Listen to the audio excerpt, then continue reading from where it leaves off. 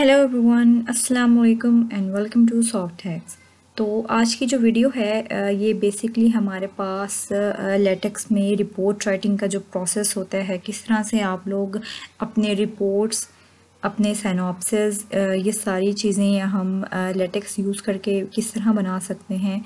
तो आज इस वीडियो में कंप्लीट मैं आप लोगों को मेथड बताऊँगी प्रोसीजर बताऊँगी कि किस तरह से हमने अपनी टेम्पलेट्स यहाँ से लेटेक्स से किस तरह से आपने इंसर्ट करनी है रिपोर्ट राइटिंग की, या फिर अगर आप न्यू अपना रिपोर्ट राइटिंग बना सकते हैं लेटक्स यूज़ करते हुए न्यू आपने रिपोर्ट्स अपनी इंसर्ट करनी है ख़ुद तो उसके लिए एक बहुत ज़्यादा आपको मेहनत करनी पड़ती है पूरी एक इंटरफेस बनाने में, एक रिपोर्ट राइटिंग का जो एक प्रॉपर आपका सिंटेक्स होता है प्रॉपर एक आपका मेथड होता है जिस वे में आप रिपोर्ट्स बनाते हैं तो उस सारे चीज़ों को अपनी डॉक्यूमेंट में मैनेज करना बहुत ज़्यादा डिफ़िकल्ट प्रोसेस है। तो बाय डिफ़ॉल्ट हमारे पास लेटेक्स में बहुत सारे टेम्पलेट्स ऑलरेडी प्रोवाइड की गई हैं। उन टेम्पलेट्स को आप यूज़ कर सकते हैं एज इट इज़ अपनी रिपोर्ट्स बनाने के लिए, अपने साइनॉप्सिस बनाने के लिए और उनको अपने कॉलेज अपनी यूनिवर्सिटी के हिसाब से अपने, अगर आपने उसमें कोई चेंजिंग करनी है तो उसके अकॉर्डिंग आप उसमें चेंजिंग भी कर सकते हैं।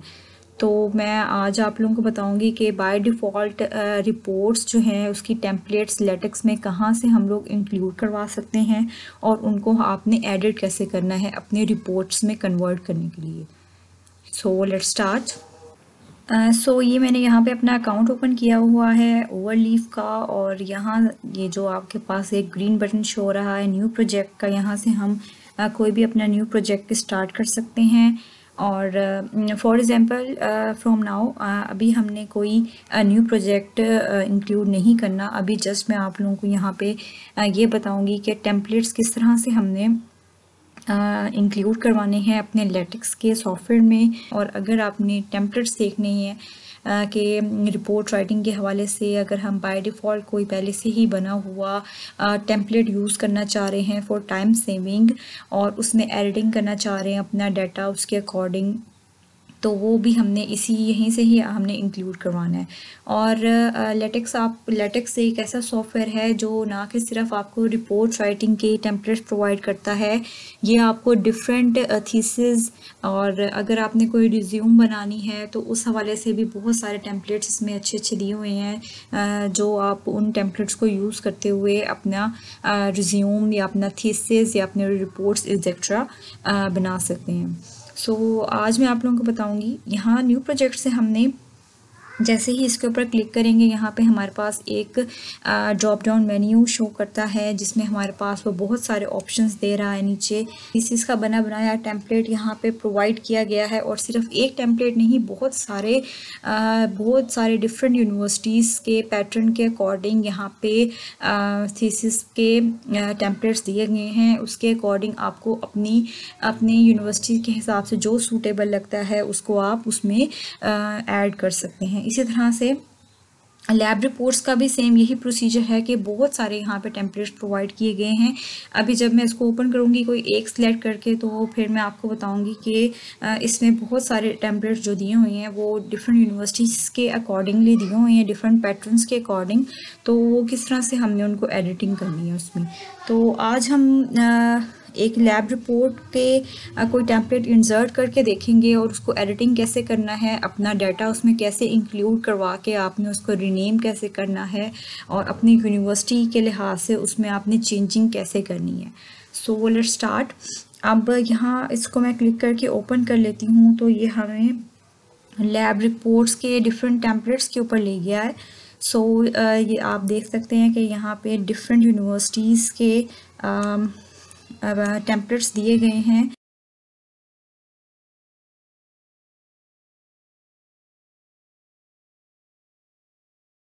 आपने देखना है इसका पेज टाइटल पेज के वो किस तरह से बना हुआ है। अगर वो आपकी यूनिवर्सिटीज़ के अकॉर्डिंग है तो उसको आप इंसर्ट कर सकते हैं यहाँ पे फॉर एग्ज़ाम्पल और अगर हम नेक्स्ट पेज पे मूव करते हैं उसमें से आपको कोई समझ नहीं आई तो वो आप यहाँ से उसको इंक्लूड करवा सकते हैं।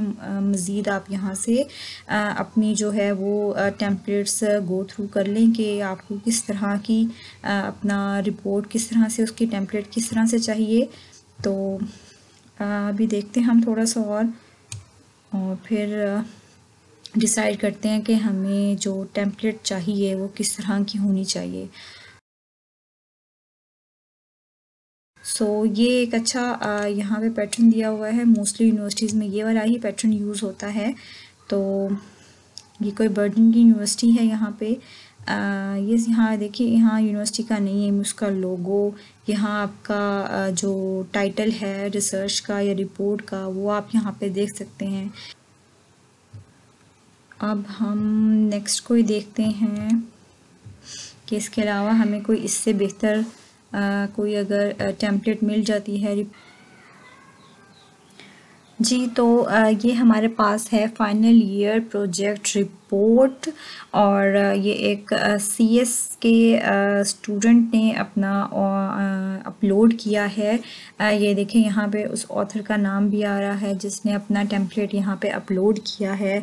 और तीन महीने पहले उसने इसका जो है अपडेट किया है इसको तो ये यहाँ पे एब्स्ट्रैक्ट भी आ रहा है इसका और यूनिवर्सिटी है। यहाँ पे पिशावर की कोई यूनिवर्सिटी है कंप्यूटर साइंस डिपार्टमेंट है और इस टेम्पलेट को हम अपने रिपोर्ट के हिसाब से थोड़ा सा चेंजिंग करेंगे, इसमें मोल्ड करेंगे इसको। तो जस्ट इसको आप यहाँ से इंक्लूड करवा सकते हैं open it as a template या फिर सिर्फ़ आप इसका सोर्स कोड देखना चाहते हैं, या सिर्फ़ इसका पीडीएफ देखना चाहते हैं तो पहले हम इसका पीडीएफ चेक कर लेंगे और उसको देख लेंगे कि ये हमारे जो जिस तरह की हमें रिपोर्ट चाहिए, ये उस तरह से इसकी टेम्पलेट है भी या नहीं और सेटिंग्स इसमें किस तरह से की गई हैं पैराग्राफ्स वगैरह की टेबल ऑफ़ कंटेंट्स की तो let's view the PDF first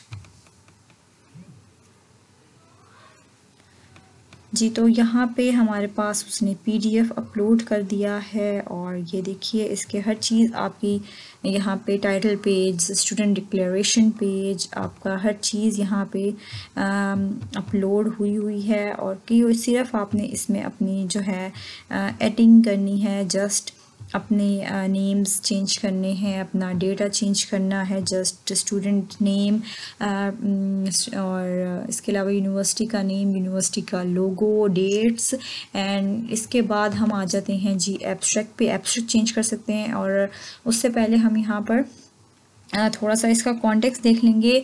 and obviously जब आप अपना नीचे का सारा डेटा चेंज करेंगे विद योर हेडिंग्स तो यहाँ पे कंटेंट्स जो हैं वो आपके ऑटोमेटिकली मोल्ड होते जाएँगे।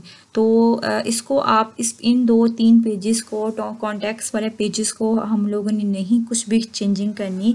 जब हम यहाँ पे नीचे जाएँगे यहाँ पे जब आप इसको यहाँ पे एडिट करेंगे, इसका नाम चेंज करेंगे तो कॉन्टेंट्स वाले पेज पे ऑटोमेटिकली जो है वो चेंजेस आ जाएँगी। अभी आप, मैं आप लोगों को करके दिखाऊँगी थोड़ी सी एडिटिंग के वो किस तरह से हमने चेंजिंग करनी है।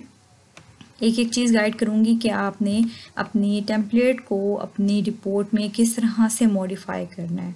So I think it's a good के template for our report so हम इसको कंसीडर कर सकते हैं। तो ये टेम्पलेट जो है, हम इसको ओपन कर लेंगे open as a template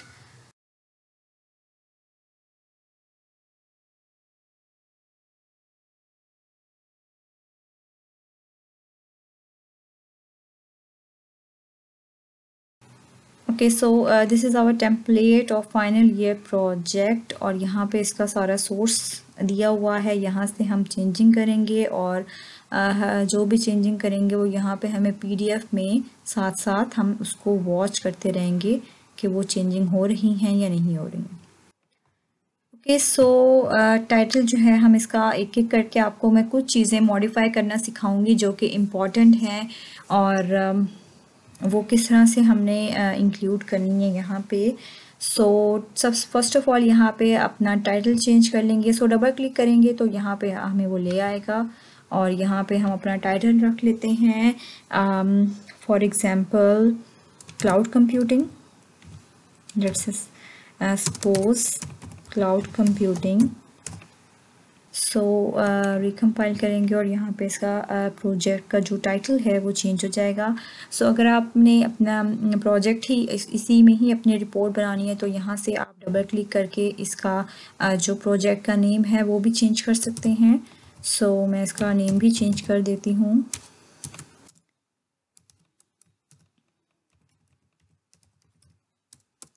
okay so after that यहाँ पे हमारे different supervisor name and student names and department नाम यहाँ पे सब कुछ दिया हुआ है। तो यहाँ से हम एक एक चीज़ करके आप बस इस करी uh, ब्रेसिस के अंदर आपने जस्ट उसका uh, नाम लिखना है और वो एडिट uh, हो जाएगा। सो so, यहाँ पे हम लोग लिख लेते हैं जी प्रोजेक्ट टीम जो आ, नाम दिया हुआ है फ़र्स्ट इसको जस्ट मैं यहाँ पे लिख देती हूँ सॉफ्ट हैक्स और बाकी का मैं कुछ चीज़ें बस एडिट करके दिखा रही हूँ रेस्ट ऑफ़ द आप अपनी मर्ज़ी से इसको चेंज कर सकते हैं। सो so, इसमें कोई ऐसा हार्ड एंड फास्ट रूल नहीं है।